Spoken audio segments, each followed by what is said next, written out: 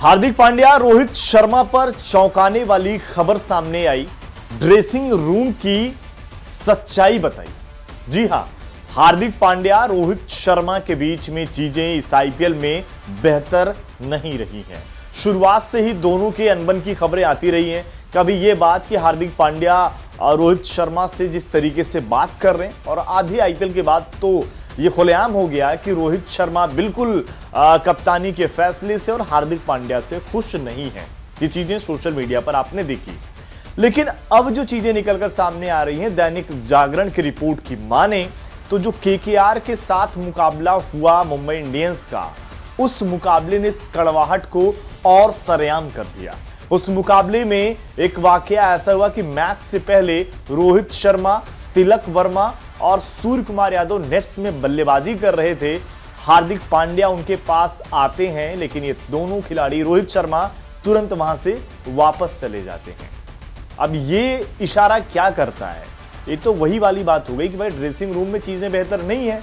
उसकी ये सबसे साफ़ तस्वीर ये खबर बताती है। और हमने आपको लगातार तस्वीरें दिखाई थी जब जब मुंबई इंडियंस ट्रेवल करके जा रही है तो हार्दिक के साथ ज़्यादा खिलाड़ी करीब नज़र नहीं आते थे। ईशान किशन ज़रूर उनके साथ के साथ कंधे से कंधा मिलाकर चलते नज़र आए, लेकिन बाकी के खिलाड़ी थोड़ा दूर ही नज़र आए।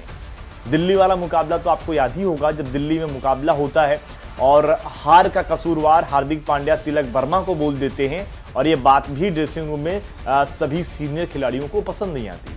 तिलक वर्मा ने खुद जाकर हार्दिक से बोला, भाई, क्या बात है? मैंने तो रन बनाए आपने मुझे ही हार का जिम्मेवार जिम्मेवार कर दिया और जिस पर अगर आप देखें, बहस भी हो गई। दोनों की लड़ाई की खबरें भी आई। तो ये सारी चीज़ें, जिसके बाद ये हुआ था कि भाई मुंबई के सीनियर खिलाड़ी ने हार्दिक पांड्या की शिकायत करी है। मीटिंग होती है हार्दिक पांड्या को लेकर। जिस मीटिंग का हिस्सा हार्दिक पांड्या नहीं बनते हैं, तिलक वर्मा भी नहीं रहते सूर्य कुमार यादव, जसप्रीत बुमराह रोहित शर्मा बनते तो ये कहीं ना कहीं मुंबई इंडियंस की जो लड़ाई है ये आईपीएल खत्म होते होते सबके सामने आ गई।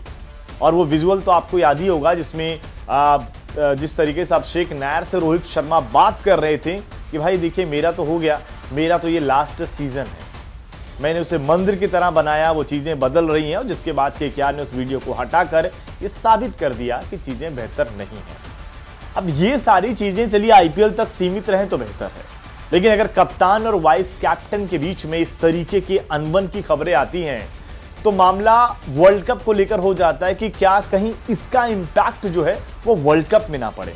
कहीं भारतीय टीम को इन परेशानी का सामना वर्ल्ड कप में ना करना पड़े, ये बात सबसे बड़ी हो जाती है। क्योंकि अगर आपकी टीम का माहौल अच्छा नहीं रहेगा, उसका असर आपके वर्ल्ड कप पर पड़ेगा। अब ये रोहित शर्मा की हमने जो बातें आपको बताई हार्दिक पांड्या को लेकर जो बातें बताई।